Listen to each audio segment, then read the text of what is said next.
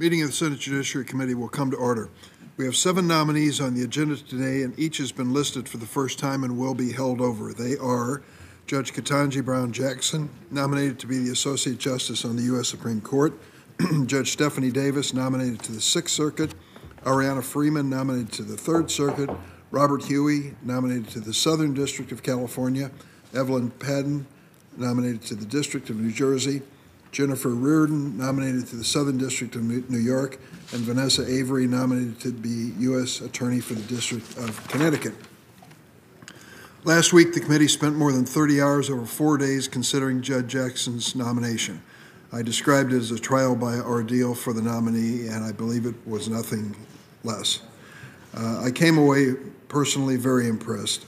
It's clear why she's been it's clear why she has been reported out of this committee three times before with bipartisan support.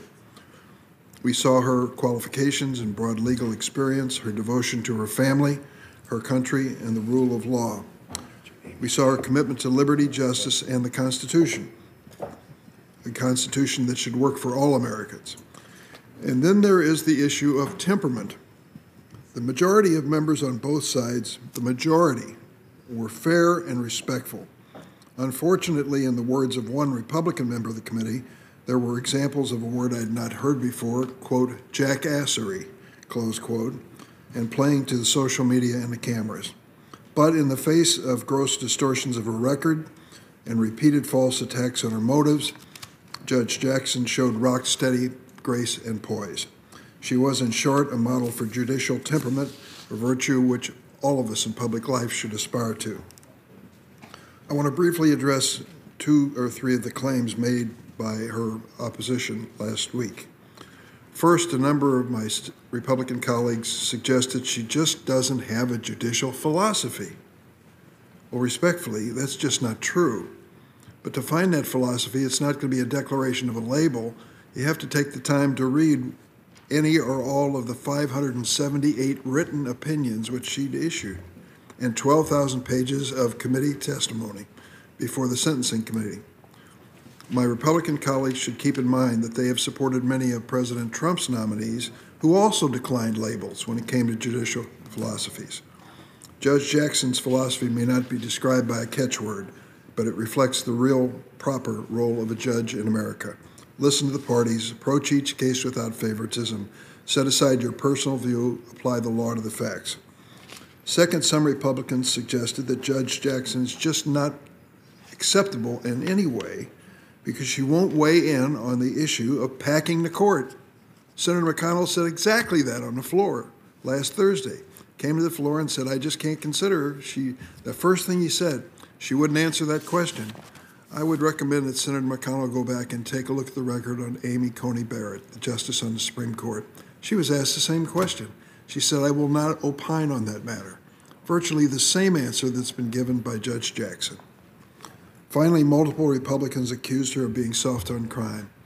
This baseless charge took multiple forms, none more vile than the outright falsehood that she let child pornography offenders off the hook. As an independent facts checker and former federal judge have attested, Judge Jackson's record is well within the mainstream of 70 to 80 percent of federal court judges. Even a conservative former federal prosecutor in the National Review dismissed many of the attacks as, quote, meritless to the point of demagoguery. Some members of this committee used the entirety of their question time, all 50 minutes, to focus exclusively on child pornography cases. Now, this may play well to the QAnon crowd and the fringe conspiracy theories who helped drive the insurrection on January 6, 2021 but the American public sees it for what it is. I want to make a point, though, of saying clearly and unequivocally not all committee Republicans treated Judge Jackson unfairly. The majority, starting with the ranking member, the majority of Republicans approached this hearing as one would only expect, asking tough but fair questions of the nominee to the highest court in the land. I thank the members on the Republican side as well as the Democratic side for being constructive and respectful for the most part and for showing the American people that there can still be decency at the highest levels of our government. I hope all senators from both sides of the aisle can learn from the good example of the senators who were fair. Given that we, all that we heard, it's no surprise that Judge Jackson enjoys broad and deep support, including from law enforcement, organizations, conservative lawyers, and judges. These voices across the political and ideological spectrum know that, as we know, Judge Jackson embodies all the qualities one expects to be appointed to the highest court in the land. I will speak uh, more on Judge Jackson, of course, next week markup when we uh, hopefully vote her out of the committee. But in the meantime, I want to quote with a statement from her opening statement, which struck me. She referred to the first African American woman to serve as a federal judge, Judge Constance Baker Motley.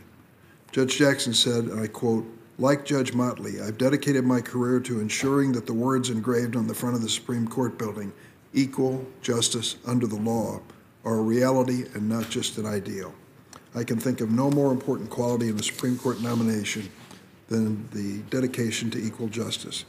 Judge Jackson shows precisely why such definition fits her, and I hope that it is demonstrated in the committee's meeting next week.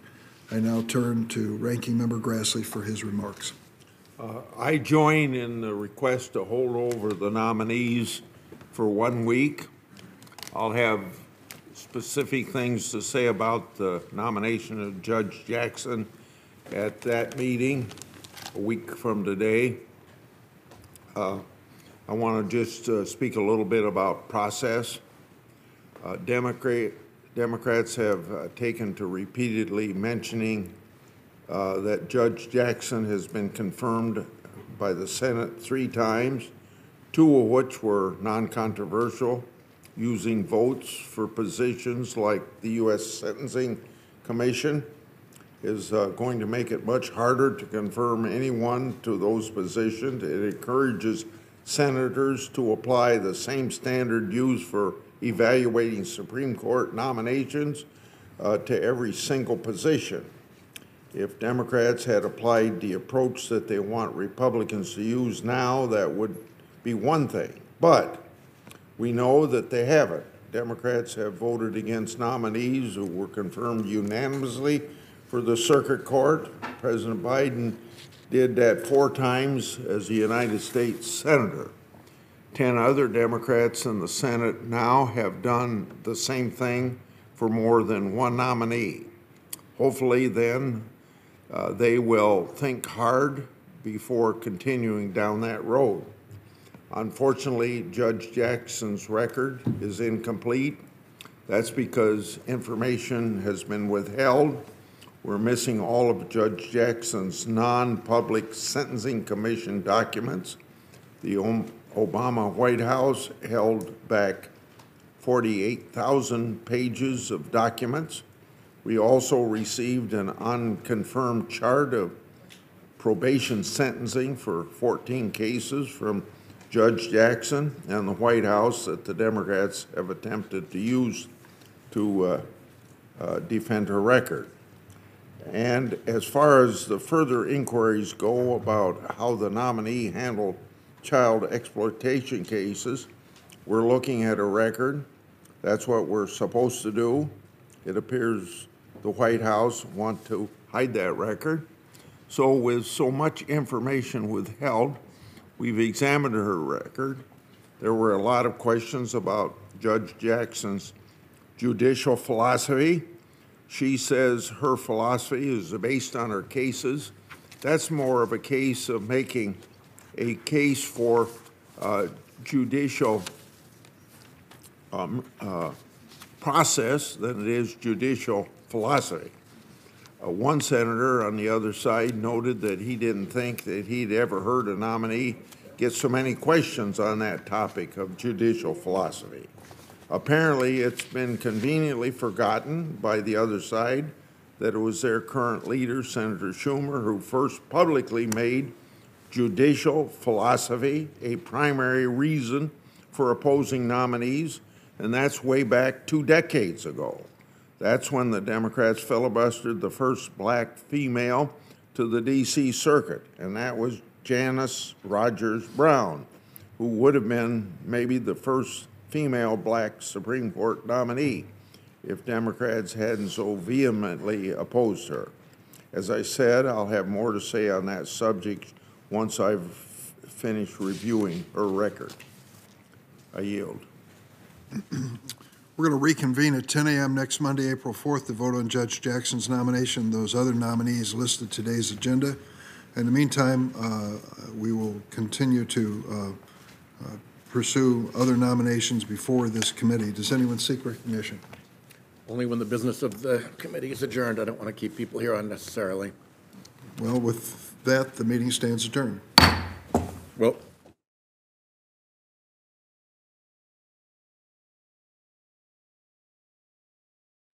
Then the Senate Judiciary Committee reconvenes.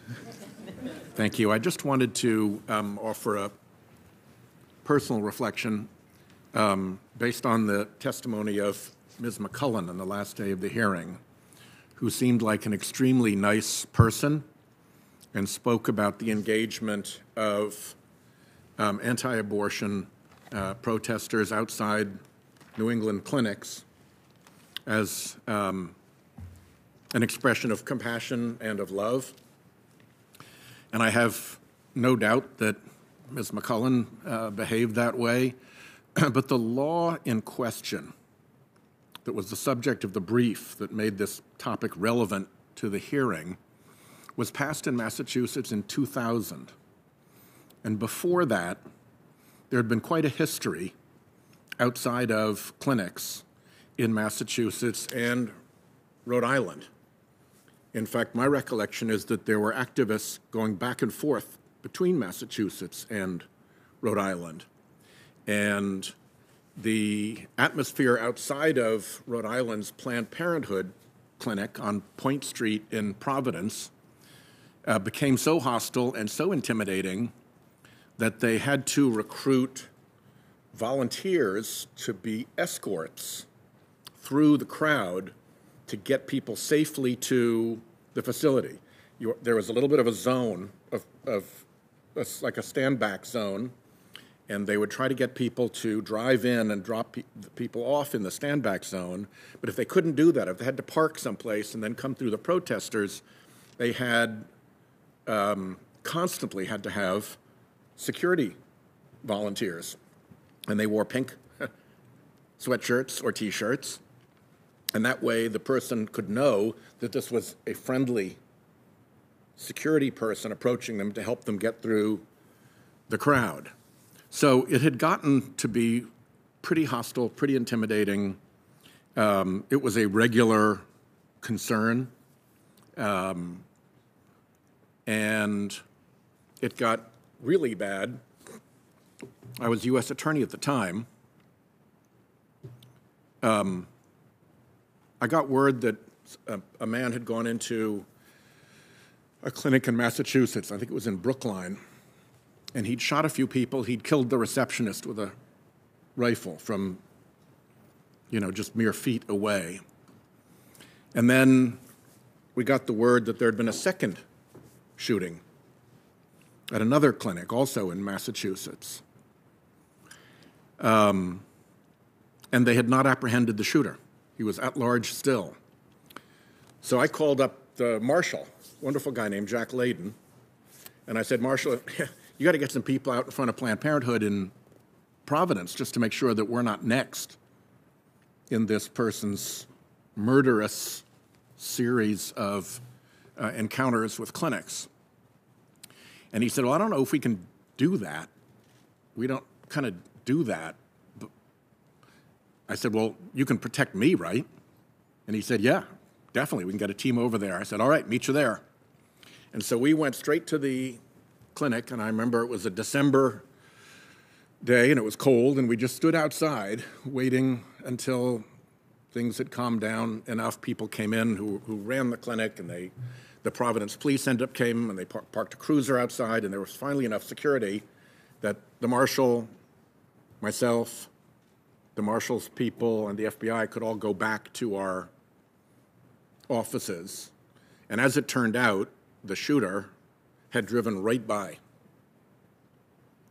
and had been 95 is only, you know, a couple hundred yards away from this clinic because we, we know he went by because he was arrested in Virginia the following day and 95 is the path down.